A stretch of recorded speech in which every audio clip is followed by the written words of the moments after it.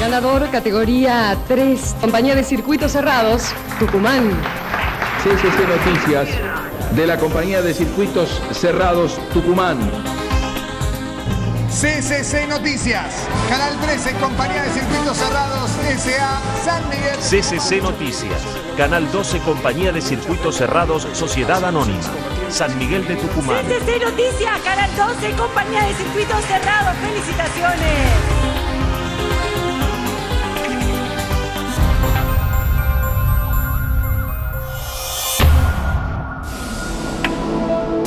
Productores rurales realizaron una feria en la legislatura. Reclaman por altos costos y por despidos de técnicos. Apoyo a productores. Acto en la legislatura. En sesión manifestarán su rechazo a las políticas nacionales. Consejo Deliberante, cuenta de inversión capitalina. Cuestionan las formas y los números del informe presentado. Marcelo Vilone, presidente del Colegio de Abogados. Se celebra hoy el Día de los Letrados. Eudoro Arauz, legislador provincial, polémica por la venta de acciones del Banco del Tucumán. Elizabeth Bichara, subdirectora de Salud Municipal, iniciaron el traslado de la asistencia pública. Oscar Velasco, secretario de Desarrollo Social, la llama olímpica de la juventud pasó por nuestra capital. Prevención de mareos, destinado a toda la familia, charla organizada por el Colegio Médico. Banco de Pelucas, primera iniciativa pública. Unos 50 donantes dejaron cabellos.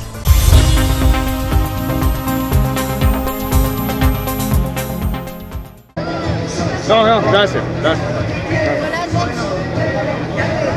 Organizado por la Federación Nacional de Campesinos, productores rurales locales realizaron una muestra frente a la legislatura. Allí también elevaron su reclamo por los despidos que se producen en la Secretaría Nacional de Agricultura Familiar. Del, precio que hoy en día este, nos están pagando los que nos compran nuestras producciones, en la cual nosotros no vemos reflejado esa, este, muchas veces esa política que falta del gobierno tanto provincial como nacional, esas políticas públicas hacia el pequeño productor. El pequeño productor no puede seguir así, no puede seguir produciendo de esa forma. ¿Cuántos despidos se han dado en lo que va del año?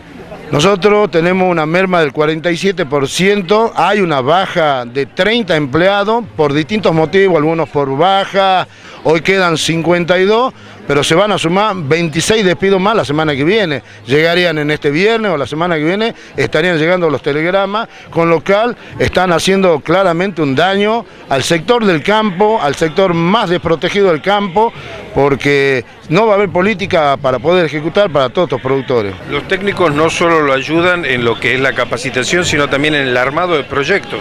En todo, absolutamente en todo nos ayudan a nosotros. Nosotros ejecutamos y también elaboramos proyectos en conjunto con ellos. ¿Y ahora qué vamos a hacer? No vamos a tener a dónde ir a presentar o quién nos van a ayudar para elaborar todo eso. Está cansado de que el agua le suba un 300%. Está cansado que los combustibles suban día a día. De esto está cansada la gente. Con un acto que se llevó a cabo en la explanada de la legislatura, un grupo de parlamentarios, encabezados por el presidente subrogante Fernando Juri, brindaron su apoyo a los productores rurales del interior de la provincia y a los trabajadores desempleados de la Secretaría de Agricultura Familiar de la Nación. Conjuntamente con los gremios, con los presidentes de cooperativas, este, defendiendo lo que es nuestro, ¿no? defendiendo nuestras economías regionales, defendiendo al pequeño y mediano productor, que son la, base y la sustentación de toda economía. Si a ellos le va mal, si al pequeño y mediano productor le va mal, evidentemente la economía va por mal rumbo. También a la Secretaría de Agricultura Familiar, que son aquellos técnicos que le dan la apoyatura técnico a aquellos pequeños productores, para que ellos puedan elaborar bien sus productos, también han echado mano a esos recursos y están corriendo este, y dejando sin trabajo a muchos técnicos. Mañana legislador sobre tabla van a tratar esta problemática en la legislatura. Y mañana en la legislatura le vamos a dar mayor fuerza porque es un proyecto de resolución, no es más que un deseo de la legislatura, pero que se lo debata, que cada uno tenga la posibilidad de exponer y que además ahí también darle la fuerza al gobernador Mansur para que discuta los presupuestos, para que estos temas presupuestarios que son para la gente que más necesita y que menos posibilidad de manifestarse tiene, no entren dentro de los ajustes. Entre el Consejo Deliberante y el municipio de la capital se mantiene la controversia por la cuenta de inversión. Razón por la que hoy estuvo presente en la Comisión de Hacienda el fiscal municipal Hernán Colombre. Aquí había unos problemas de interpretación de la comisión, de algunos miembros de la Comisión de Hacienda, y bueno, yo se las despejé y dejé claro que la cuenta de inversión fue correctamente elaborada por la Contaduría General, que es el órgano que tiene a su cargo la elaboración e interpretación de las normas en, en materia contable. Por ¿Cuáles eran esas dudas? Eh, si se debía reflejar el presupuesto eh, que está en vigencia a, a, partir de abril de este año en la cuenta de inversión del ejercicio anterior. Y como no tiene efecto retroactivo, la, norma esta no puede tenerlo, es que la Contaduría General no lo incluyó en, su informe. Hoy la cuenta de inversión, según el análisis que hace el Consejo Deliberante, que es, que es el organismo que lo tiene que, que tiene que controlar lo que es la, la, estructura de la cuenta de inversión, eh, nos encontramos con una inconsistencia. Concejal, el debate está en la forma, pero en el fondo hay una diferencia de dinero. ¿De qué diferencia de dinero hablamos? Y hay una diferencia aproximadamente de 80 millones o algo así. En los festejos por el Día del Abogado, el presidente del colegio resaltó el compromiso que tiene esta profesión con la democracia. Yo creo que desde su lugar y cada persona de su lugar, conforme sea el ámbito de su respectiva incumbencia, debe propender a poner paños fríos, a eh, dejar de lado esta actitud de verdadera intolerancia. Es muy sano el disenso y precisamente de ese diálogo que se produce a partir del intercambio de posiciones es posible generar herramientas eh, de consenso, pero creo que, y lo decía hace momentos, no hay que mirar a quien piensa distinto a nosotros como un enemigo al que hay que destruir, sobre todo en las redes sociales, en las que es tan fácil, digamos, vertir términos injuriosos. Doctor, mañana se va a dar una situación muy especial. Vamos a jurar solamente los abogados que ejercemos la profesión. Me consta que hay una serie de magistrados que también juraron del mismo modo, en el caso mío, juramos por la Constitución y las actas y estatuto de proceso, pero sucede que los jueces con posterioridad, en ocasión de asumir la magistratura, prestaron su, juramento eh, eh, por la Constitución. O sea, se trata de un hecho absolutamente voluntario, simbólico. Por la venta de las acciones del Banco del Tucumán, el legislador Eudor Arauz todavía espera una respuesta desde la justicia. Eh, primero se inhibió de actuar la doctora Giannoni, que está subrogando la Fiscalía número 11. Después se inhibió de actuar el doctor Suanávar, que está este, en la Fiscalía séptima. Pasó al fiscal de Cámara, el fiscal de Cámara resolvió que actúe la doctora Giannoni, o sea que vuelva a la Fiscalía 11. En el interín pedimos un pronto despacho al doctor Suanávar que no lo resolvió.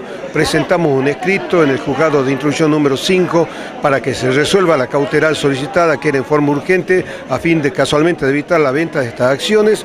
Y hasta la fecha no se ha hecho absolutamente nada. En tanto, ¿qué pasa con la venta de las acciones? ¿Avanza el proceso?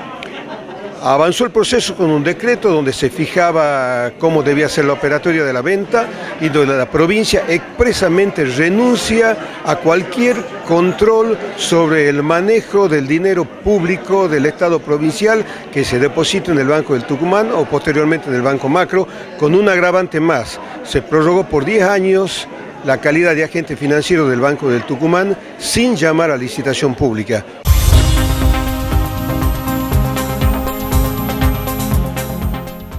Por obras de remodelación se trasladará la atención de la asistencia pública a dos locales en Barrio Norte. Así lo anunció la subdirectora de Salud Municipal, Elizabeth Bicharra.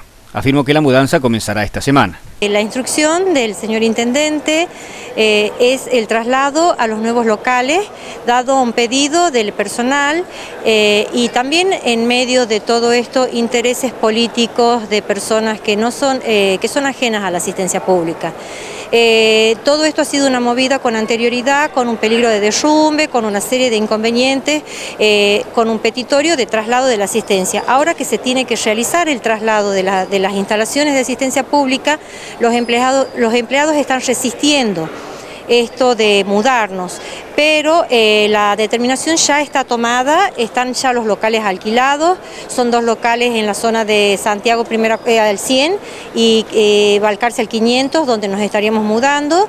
Y bueno, la instrucción ya está dada por el señor Intendente Germán Alfaro de mudarnos en esta semana y tratar de trasladarnos en estas dos próximas semanas. Los empleados hacen un petitorio este, como que quieren asegurarse que volvemos al edificio y que próximamente eh, va a ser remodelado, que estimo que el intendente lo anunciará en el momento oportuno. Eh, todo esto se debe a que está el intendente, la preocupación de nuestro intendente es eh, bregar por la seguridad física de todos los empleados que trabajan ahí y de la integridad también de, los, de los, que, de los vecinos que concurren en búsqueda de resolver la atención médica. La antorcha olímpica de la juventud recorrió las calles de San Miguel de Tucumán como parte de la fiesta previa de los Juegos Olímpicos de la Juventud que se realizarán en Buenos Aires. algo histórico, porque los tucumanos, ¿cuándo vamos a volver a tener la oportunidad de ver la antorcha olímpica en Tucumán? Eh, ya para Argentina, tener los Juegos Olímpicos en octubre, en donde van a competir eh, más de 200 países chicos de 15 a 18 años, son más de 4.000 atletas eh, que van a competir. Y tener la llama olímpica en Tucumán, es decir, que es una manera de, difundir, digamos, las Olimpiadas que se hacen en Buenos Aires en octubre, es muy importante. No son muchas las ciudades del interior de la Argentina en las que se ha hecho este tour de la antorcha olímpica. En este momento vienen de Salta, y están yendo a Catamarca, van a llegar hasta Mendoza y después terminan en La Plata, hasta la primera quincena de octubre.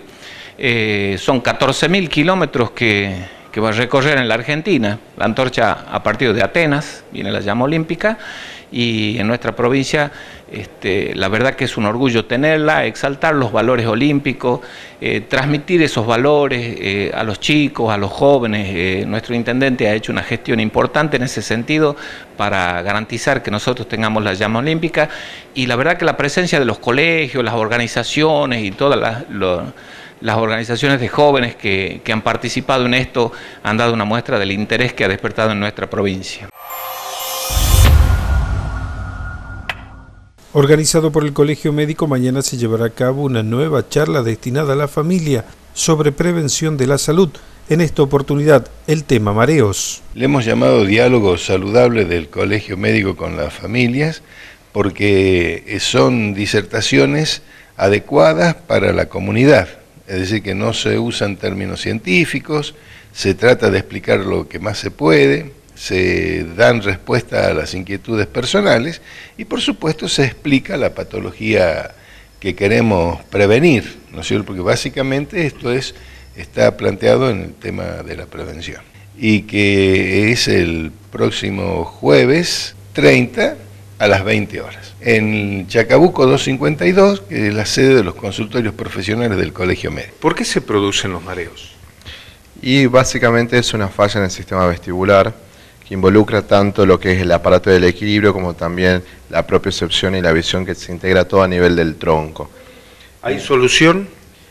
hoy en día en manos de un especialista tienen solución entre un 80 y 90% de los mareos. Y en este sentido, la gente por lo general cuando tiene un mareo se automedica, toma algún tipo de medicamento. ¿Esto es bueno o no? No, eh, no es lo recomendable.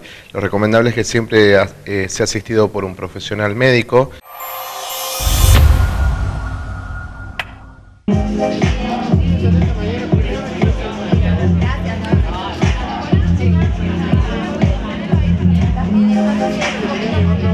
Tu cabello crece, su sonrisa también. Es una campaña que hace el Sistema Provincial de Salud para dar una mano y una esperanza a quienes sufren alguna enfermedad oncológica. Y hoy estamos en la primera creación del Banco Público eh, del país, de Peluca, ¿sí? principalmente para enfermedades oncológicas. Todas esas personas que por la quimioterapia perdieron el pelo, bueno, nosotros le vamos a proporcionar desde el Ministerio de Salud una peluca. ¿Cómo va a ser eso? Bueno, este proceso acaba de empezar, ¿sí? Esta es la parte número uno en la que la gente está donando, ¿sí? Después que tengamos la cantidad suficiente de pelo, recordemos que se necesita entre 5 y 10 personas para crear una peluca, ¿sí? Entonces, después que tengamos toda esa base, se va a hacer en lo que es Italia 1919 también, que forma parte del Sistema Provincial de Salud, la elaboración de pelucas. Y de ahí se les va a ir destinando a las personas que se hayan contactado también, que estén necesitando. Bien, algo lindo sé que es para algo bueno y bueno, el cabello crece y no es algo que tampoco nos cuesta mucho, así que me he sentido bien. Una mezcla de sentimientos. Sí, totalmente. Es muy lindo, yo invito a todos que lo hagan, la verdad, porque primero sí hay mucho miedo, mucha incertidumbre, pero cuando decidís que verdaderamente es de corazón, te motiva a hacerlo. La verdad, una alegría inmensa, eh, no esperaba que vengan tanta gente, muchos niños, eh, mamás con sus hijitas, muy sorprendido, muy sorprendido. Desde hoy hasta el 8 de septiembre, la Plaza Juan Bautista Alberdi de la capital será la sede del segundo encuentro de arte y muralismo. Primero son artistas nacionales e internacionales, van a ser 30 artistas que van a estar trabajando en la plaza durante estos 10 días, desde el 29 de agosto al 8 de septiembre, con la técnica de mosaico en su mayoría van a intervenir caminerías, van a intervenir eh, bancos, eh, este, mesas y eh, escalinatas de la plaza. También se, abrió una convocatoria para los colaboradores. Eh, tenemos más de 100 colaboradores de acá de Tucumán que se van a sumar a trabajar y a colaborar con los artistas. La gente va a poder acercarse, va a ser durante todo el día. Vamos a estar trabajando todo el día, hoy a partir de las 14 y el resto de los días de 8 de la mañana a 8 de la noche. Y sí, la idea es que se acerquen todos, que nos visiten, que los visiten los artistas, que, charlen con ellos, que los ayuden este, y que sean parte de este encuentro este, y de esta renovación que va a tener la plaza. Bueno, más allá de lo que es el propio trabajo del muralismo, va a haber otras actividades. Así es, vamos a hacer actividades culturales los dos sábados de, de los que duran el encuentro. Le hemos dado eh, como nombre Paseo del Arte, el sábado 1 y el sábado 8 de septiembre, en las calles aledañas a la Plaza Alberdi. Se va a realizar este paseo con este, puntos gastronómicos, em, feria de artesanos de la municipalidad y muchos artistas reconocidos de la provincia que van a estar haciendo su trabajo en vivo. Em, además de esto tenemos shows los dos sábados.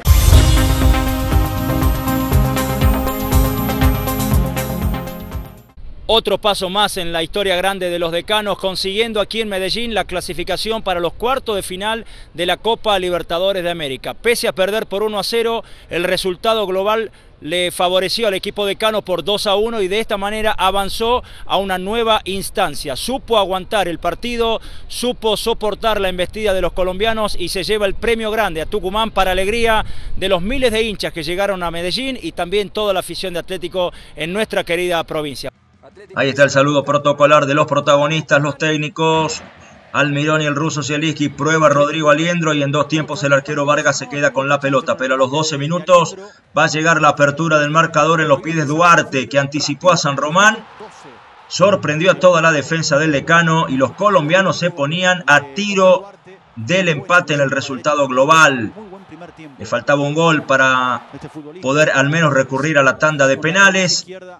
Atlético Tucumán logró sobreponerse al sofocón, presionaba el equipo colombiano, aquí el remate de media distancia de Leandro Díaz, va a llegar el cabezazo de Felipe Aguilar y la gran atajada de Cristian Luchetti, figura de este Atlético, que aquí vuelve a responder desviando esa pelota en un gran esfuerzo. Segundo tiempo, los colombianos dominaron el partido, pero no tenían la suficiente claridad como para poder generar situaciones de gol propicias ¿eh? y exigir a fondo a Cristian Luchetti. Aquí lo tuvo Atlético, era el gol que cerraba el partido prácticamente. Matos lo habilitó a Leandro Díaz y el arquero Vargas en una gran acción evitaba lo que era el empate de los decanos. Así palpitaban los hinchas el final del encuentro, la última pelota rumbo a la mitad de la cancha y el árbitro chileno marca el final para que se desate la fiesta, la alegría de los hinchas decanos en Medellín y en toda nuestra provincia. Atlético Tucumán logra superar el partido más importante de su historia, pese a perder Atlético está en los cuartos de final de la Copa Libertadores de América y en bolsa un premio de la Colmebol de 950 mil dólares. Notas. Una alegría para toda la gente de Tucumán. ¿Cómo lo viviste el partido? ¿Cómo, cómo fue, Ricardo? ¿Cómo lo pensaste? Ah, bueno, teníamos que pasar como sea y lo pasamos y ante un gran equipo como es Nacional. Así que bueno, sufriendo como, como habitualmente pasa, pero bueno, lo, lo manejamos bien especialmente el segundo tiempo. Sí, tuvimos muchos inconvenientes hoy, jugadores que estaban lesionados, eh, jugadores que no se sentían bien, así que bueno, por suerte lo sacamos adelante, un partido difícil. Bien, muy contento, muy, muy sufrido, recién ahora relajándonos un poco, pero, pero bueno, fue un partido muy intenso, con un rival que juega bien, que maneja bien la pelota, eh, que está acostumbrado a esta clase de partido y, bueno, nosotros vinimos a buscar la clasificación, sabíamos el primer minuto que no, iba a ser fácil, se pusieron en ventaja muy rápido y, bueno, la verdad que aguantamos, aguantamos muy bien. El segundo tiempo no nos crearon muchas situaciones claras, sí tuvieron la pelota, pero, pero creo que lo sostuvimos, nos costó crearle situaciones de gol. Eh, pero bueno, contento, feliz de, haber dado otro pasito más en esto que, estamos viviendo.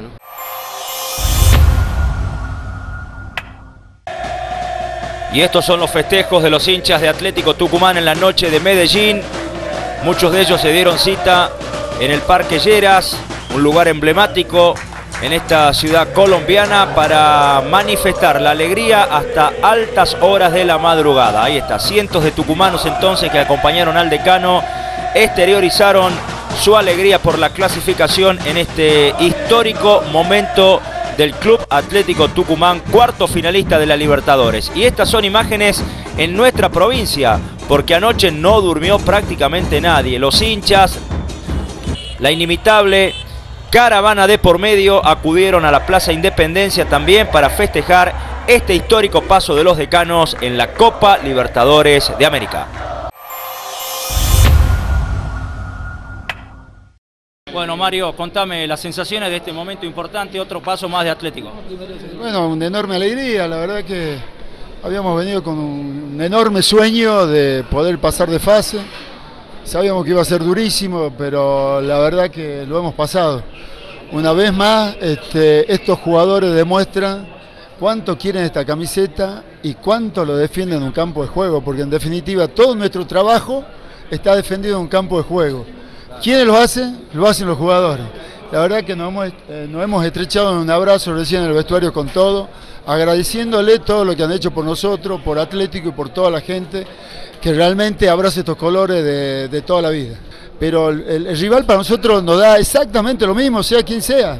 Nosotros hemos, no hemos llegado eligiendo a nada acá, no hemos llegado ganando en una cancha. Entonces, este, si es eh, el gremio, iremos a jugar en, Brasil como lo hacemos siempre, poniendo todo lo que hay que poner, defendiendo estos colores y tratando, obviamente, de, de que nos vaya bien. ¿Para quién va? Eh, siempre para la familia, para los compañeros, para los amigos.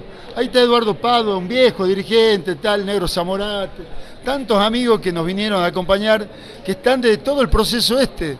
Nos abrazamos y pensamos y miramos para atrás y nos damos cuenta de todo lo que hemos recorrido para llegar acá.